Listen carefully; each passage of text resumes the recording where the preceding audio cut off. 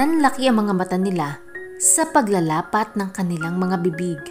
We had a winner! Sigaw ng teacher. Doon lang sila mabilis na nag-iwas ng tingin at mabilis na umayos ng upo. Oh, malungkot namang tura ni Justin nang may ibang nanalo. No worries, bawi tayo sa other game. Alo ni Daniel sa anak, saka muli silang pumila sa next game. Isang sack race iyon. Una ang bata, pangalawa si daddy, at huli daw ang mami para may thrill. We need to win this game. Sambit ni Justin na pinapagana na naman ito ang pagiging maldito nito. Alam nilang ayaw na ayaw nitong natatalo siya. Very competitive na bata. Lahat at handa na. Muling nagantanda ang teacher at nagbilang. Uno, dos, tres, go! Anito, kasunod ng mabilis na galaw ni Justin. Napalingon si Katrina sa mga mamis na kahilera. Napangiti siya nang medyo may mga katabaan ang mga kakalabanin. Mayroon din namang payat pero tatlo lang kumpara sa pitong may katabaan. We gonna win this! Bulalas niya. Hindi niya alam na medyo napalakas pala na dahilan para marinig ng boss na katabi. Sure, you're the last. You gonna make it. Anang ni Daniel na nakangiti. Napatingin siya rito. Basta bilisan mo ha. Tiyak mananalo tayo. Game na game na wika. Sure, mabilis na tugon dahil nasa harap na si Justin. Mabilis na pinasok ang sarili sa medyo may kaliitang sackbag at mabilis din naman itong tumalon-talon. He don't wanna lose his child this time. Mabilis siyang nakabalik at si Katrina na ang sunod. It's showtime! Ngising wika ni Katrina at mabilis na sinilid ang sarili sa sackbag. Nakitang may nauna na sa kanya, kaya mabilis siyang tumalon. She uses her skills to win. Nakamaang si Daniel habang tinitingnan kung gaano kalisi si Katrina. Papunta pa lang ito kanina habang paikot na ang babaeng nangunguna. Pero looking her now in front of him ay tila kidlat itong lumundag-lundag. Yehey! Malakas na sigaw ni Justin nang manalo sila sa larong iyon. Mabilis itong binuhat ni Daniel at lumundag-lundag pa kasunod ng pag-akap sa kanya na bigla niyang ikinabigla. Tuloy ay nahihiya silang nagbitawan, larawan na sila ay isang buo at masiyang pamilya. Lalo na nang kunin nilang tatlo ang kanilang premyo sa pagtitipong ito. At bilang alkalde at hindi naiiwasang anyanyahan din siya na magsalita ng isang closing remark. Dahil naririto na rin ang ama ng ating bayan, may I call on Honorable Mayor Daniel Villa to give a closing remarks, ani ng prinsipal. Agad namang tumayo si Daniel upang paunlakan ang mga ito. Sa mga minamahal kong kababayan at sa lahat ng naririto sa pagtitipong ito, I would like to express my gratitude to all the teachers of this school who gathered us today to remind us how important of having a complete family. A family that composed moms and dads, but mostly to those single parent out there who play the same as mother and father. Wala akong maraming sasabihin, kundi pahalagahan ang inyong mga anak dahil sila ang buhay na alaala na minsan sa buhay natin na tayo ay nagmahal at minahal nakangiting wika ni Daniel. Dinig na dinig ni Katrina ang mga sinabing iyon ni Daniel. Muli ay sumingit sa isip ang narinig na usapan nito at ng isang babae noong nagdaang gabi. Hindi nito anak si Justin at kinukuha na ng ina nito. I want to thanks also to Katrina for coming with us to play as a mother to my son. I really appreciate your effort as I saw how happy my son is. Pahabol pang tura ni Daniel bago nagpaalam sa mga ito. Hindi tuloy maiwasang mapunta sa kanya ang tingin ng lahat ng naroroon. Wala siyang nagawa kundi ang mapangiti na lamang. Kararating lang nila sa kanilang bahay galing sa eskwelahan ni Justine nang maabutan ng isang babaeng sexy at maganda. Kampante itong nakaupo sa sala at tila kanina pa naghihintay. Hindi niya ito kilala dahil una niya itong nakitang nagpunta roon. Hawak niya ang kamay noon ni Justine habang kasunod naman si Daniel. Mariin ang tinging binigay nito sa kanya at tila inuuri siya. What are you doing here? Matigas na tinig buhat sa likuran nila. Si Daniel iyon. Tumayo ang babae at lumapit ito sa kanila. Tumiim ang titig ng babae. Masama bang dalawin ko ang anak ko? Maarting wika nito. Kasabay ng paghawak nito kay Justine na agad namang tinabig ng bata. Sa ginawa ng bata ay mas lalong tumalim ang titig nito hanggang ngumisi. Mukhang na-brainwash mo na ang aking anak. Ako sa nito kay Daniel, saka bumaling sa kanya. So, ikaw ba ang flavor of the month nitong si Daniel? Poor girl, tuya nito sa akin.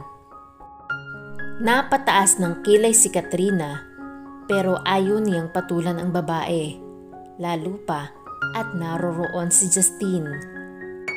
Ayaw niyang mas lalong magalit ito sa ina kahit pa kanina pa siya naiinis sa hagod ng tinging ipinakikita nito sa kanya. Leave the house now!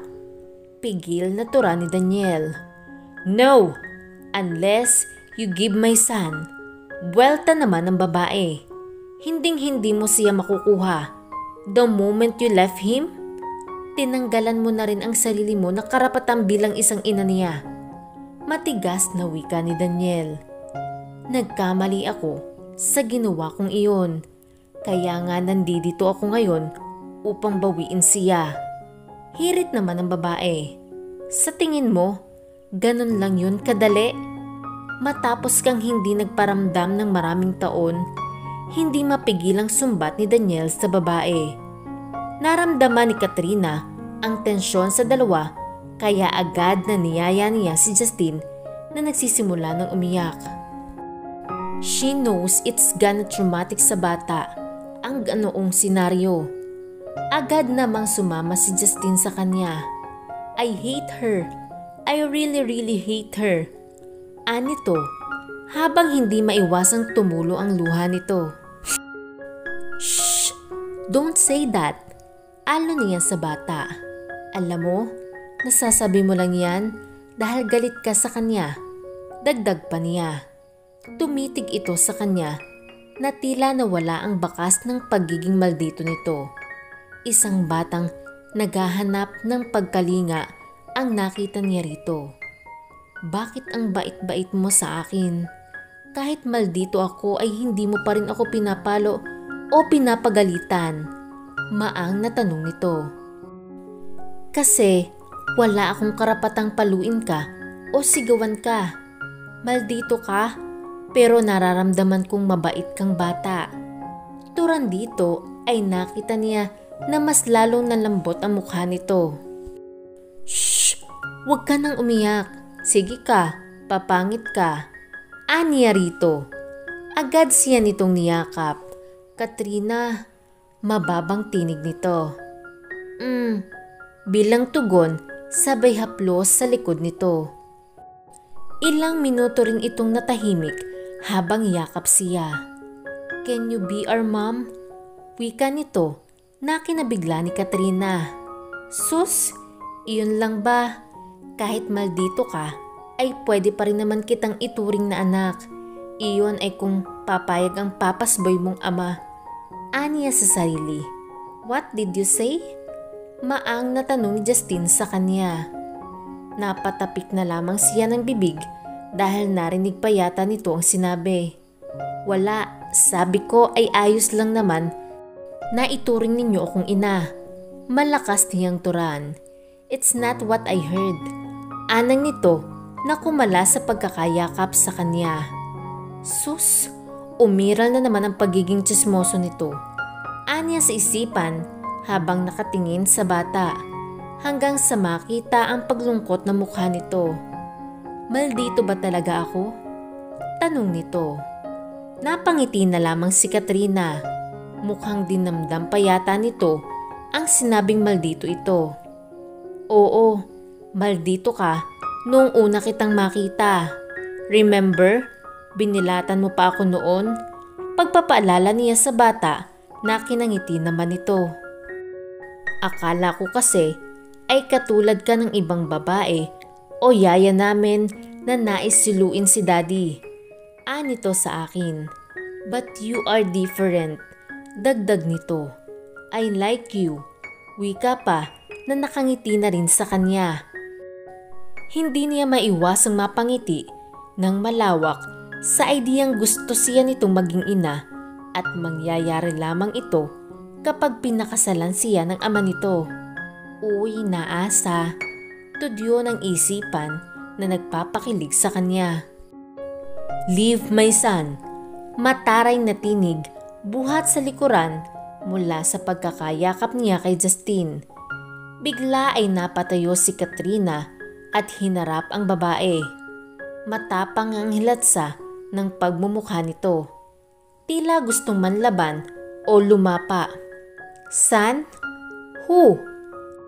Mataray ring wika niya matapos mong basta-basta na lang iwan at basta-basta ka na lang din darating para kunin siya.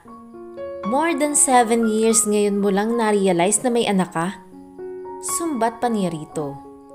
Naningkit ang mata ng babaeng nasa sa harapan. Wala kang karapatang pagsalitan ako ng ganyan. Katulong ka lang dito. Duro sa kanya. Nagngangalit ang bagang niya sa narinig dito Baka maya-maya ay maputol niya ang daliri nitong nakaturo sa kanya. You're right. Katulong ako rito. Eh ikaw, ano ka rito? Di ba wala?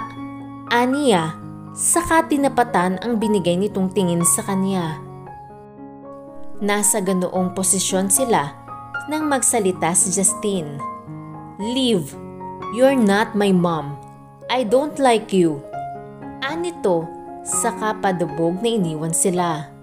Ngunit maagap itong hinawakan ng babae. No, I'm your mom. Please come with me. Sumamo nito kay Justine. No, I don't even know you. Leave me alone. You're not my mom. Umiiyak ng tura ni Justine. Saka mabilis na piniksi ang kamay ng babaeng nakahawak sa kamay nito at patakbong papalayo. Nakita ni Katrina ang lungkot sa mukha ng babae sa ginawa ng anak nito. Ngunit nang bumaling ito sa kanya ay binigyan siya nito ng isang matalim na titig bago padabog na umalis sa kanyang harapan. What's up man? Masiyang tinig ni Robert nang bumungad ito sa sarili nitong opisina. What the hell are you doing? Pinaghintay mo ako ng 2 hours Bulalas na wika ni Daniel sa kaibigan. Tumawa pa ito ng malakas na tila nang aasar. I'm sorry man. Alam mo kapag detective, may mga pagkakataong hindi inaasahan. May sinundan lang ako. Anito, sabay lapag sa lamesa nito ng ilang papeles. Ngunit mas nakakaagaw ng pansin niya ay ang larawan ng isang babae. Maganda ito at balingkinita ng katawan. So, don't tell me, babae mo na naman ang hinahabol mo. Puska ni Daniel sa kaibigan. Hell, no. Bakit ako maghahabol na babae? Sila ang humahabol sa akin. Malakas ang kumpiyansa sa sariling wika nito. Saka maya-maya ay tumiim ang titig nito sa kanya. So, ano naman ang nakain mo at gusto mong paimbestigahan ang bago mong yaya aber? Anito, habang nagsasali ng alak sa baso nito. Want some? Alok pa nito sa kanya. No thanks, tanggi niya dahil dadaan pa siya sa munisipyo mamaya. Tumawa ang kaibigan sa ginawa niyang pagtanggi. Oh wow! Nakalimutan ko nga palang isa kang ulirang alkalde ng bayan. Stop it! Mabilis na bara dito na mas lalo nitong kinatawa. Nilapag niya sa lamesa nito ang brown envelope na kinalalagyan ng larawan at ilang impormasyon tungkol kay Katrina. Nakita niyang agad nitong siniyas iyon matapos umupo sa harap ng lamesa nito. Otomatikong napangisi ito nang tumambad sa mukha nito ang larawan Katrina. Wow, you had a great choice of nanny. Chika baby to ah. Ani to, natitig na titig sa larawan Katrina. Bigla ay tila gusto na niyang agawin sa kaibigan ang larawang hawak nito. Kita pa niyang tila inaaral nito ang bawat detalye ng mukha ni Katrina. Hindi malaman kung bakit nakaramdam siya ng selos sa sandaling iyon. Lalo pa sa nakikitang napapakagat labi pa ang kaibigan. Katrina del Rosario. Basa nito sa pangalan ng babae. Nakita niyang tila nag-isip ang kaibigan nang mabasa ang pangalan ni Katrina. Is there something wrong? Maang na tanong nito. Nothing much. Ngisi nito. Del Rosario seems so familiar to me. Dagdag pa nito, saka inisang lagok ang isinali na baso nito. Baka may kliyente ka o kaibigan ka. Aniya upang mabaling ang pansin nito. Ibinaling ni Daniel ang tingin sa larawan ni Katrina hindi niya maiwasang titigan ang magandang mukha nito. Bagay na napansin pala ni Robert dahilan para muli siyang tuksuhin ito. Wow, larawan pa lang yan ha. Tudyo nito, nalihim na napangiti sa kanya. Who is she? Mukhang tinamaan yata ang aking best friend ah. Anang pa ng kaibigan na panay ang kantsaw sa kanya. Napabaling-baling na lamang siya ng ulo sa mga sinabi nito. Kilalang kilala siya ni Robert. Kaya sa tingin pa lamang niya sa larawan ni Katrina, ay alam na nitong may kakaiba sa kanya. Hindi naman niya may pagkakailang napupukaw ni Katrina ang kanyang pansin kaya nais niya itong mas makilala pa ng lubusan dahil ayaw niyang dumating ang puntong hulog na hulog na siya saka makikilala kung sino talaga ito. May mga bagay na ipinagtataka rito at may kaba sa dibdib na baka isinugo ito ng sindikatong matagal na iniiwasan. Lumalim ang isipin tungkol kay Katrina habang ang kaibigan ay panay pa rin ang kantsaw sa kanya na wala yatang balak tumigil. Kinabukasan ay maaga pa lang nasa munisipyo na si Daniel. Darating daw kasi ang kanilang gobernador sa kanilang bayan. Lahat ay abala sa gaganaping inauguration ng kanilang bagong covered auditorium.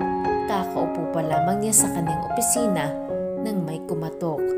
Dahil wala naman siyang ginagawa, ay agad na sinabing pumasok kung sino man iyon. Maaga pa naman kaya may dalawang oras pa bago ang taknang dating ng gobernador. Nang bumukas ang pinto, ay nakita agad ay nakita agad ang nakangiti mukha ng kaibigang si Robert. Mukhang may malaki pang black eye ito na halata kahit nakasuot ito ng sunglasses. I got all the information you need. Anito, saka tumingin sa kanya na may nakakalokong ngisi. Hanap ang pormahan natin ah nakabarong pa si Mayor. Dagdag na tudyo nito. Napakanuot siya, hindi dahil sa pambubusga nito, kundi napakabilis naman ito para gawin ang trabaho nito. Nakuha na kaya ni Robert ang impormasyon tungkol kay Katrina. Dito na kaya magkakabukingan kung anong pakay ng dalaga sa binata. Muli po, sabay-sabay po nating abangan ang susunod na kabanata. Maraming salamat po!